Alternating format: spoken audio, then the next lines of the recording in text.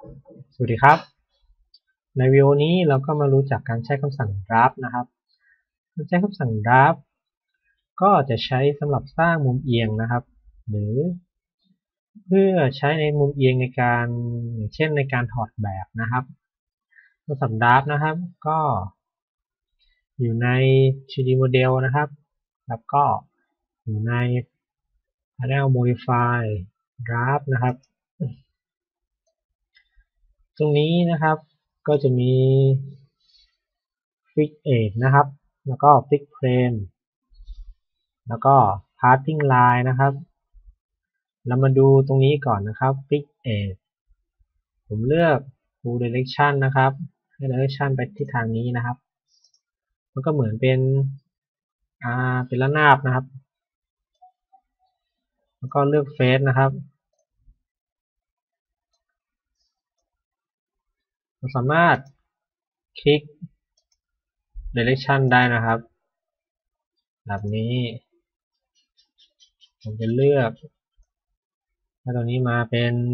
ลบยี่สิบนะครับนะครับ ก็จะได้มุมเอียงตรงนี้ และ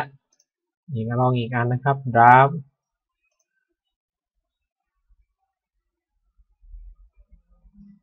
เลือกเฟกนี้นะครับปึ๊บ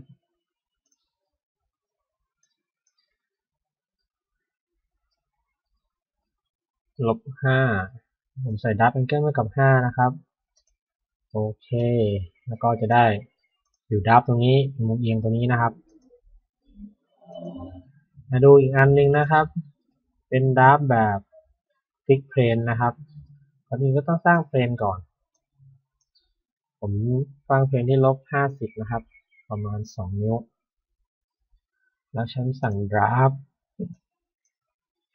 คลิกเพลนนะครับ เลือกเพลนเลือกตรงนี้นะครับ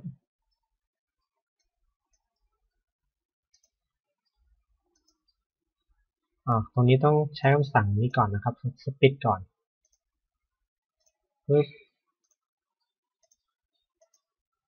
ล้วก็ ก็ดราฟอีกทีนะครับ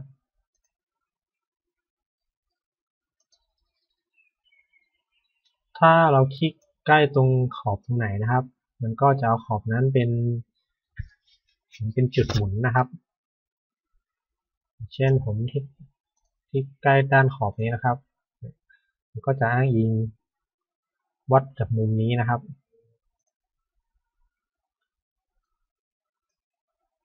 ตรงนี้ผมเลือกให้เป็นลบเจ็ดนะครับ ก็จะได้ draft อันนี้ก็เป็นผิวเรียบนะครับอันนี้ก็เป็นผิว draft เอียง ส่วนอีกอันนึงก็เป็นเนี่ยครับ เป็น parting line นะครับ ก็อื่นเราก็ต้องสร้าง parting line ก่อนแล้วผมจะเลือก sketch นะครับ parting line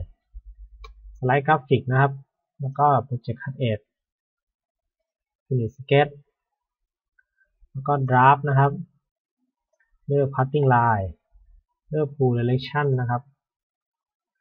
แล้วก็ Parting Line แล้วก็เลือก Face นะครับ